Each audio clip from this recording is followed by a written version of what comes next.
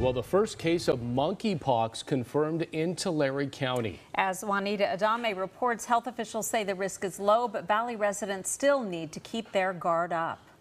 There are currently 186 cases across the state, and although it is a virus that is emerging globally, there are precautions that residents can take to protect themselves. Officials said the symptoms for monkeypox will oftentimes resemble the flu. If you do have flu-like symptoms and you develop a rash, similar to the characteristic rash of monkeypox. Rashes can be on your face, your body. But the main difference with this virus will be the rash. And they look like pimples or blisters. We want you to immediately isolate yourself, contact your doctor and healthcare provider. The Tulare County Public Health Department says knowing the potential risk but not overreacting is key. It's important for our community to be informed and alerted um, of these emerging public health threats like monkeypox.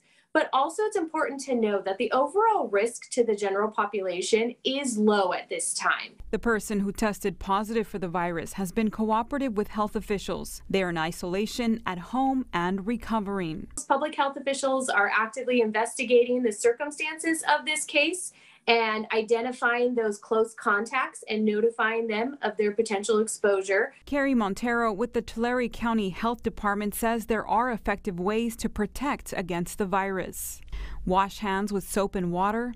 Avoid close contact with people who are sick. Stay home and call a doctor if you have any of these symptoms and a rash, and wear a mask. It's also important to know we've had monitoring and reporting systems in place for some time now for monkeypox. For an extended list of precautions and symptoms of monkeypox, visit our website, yourcentralvalley.com. In the studio, Juanita Adame, KSEE24, local news that matters.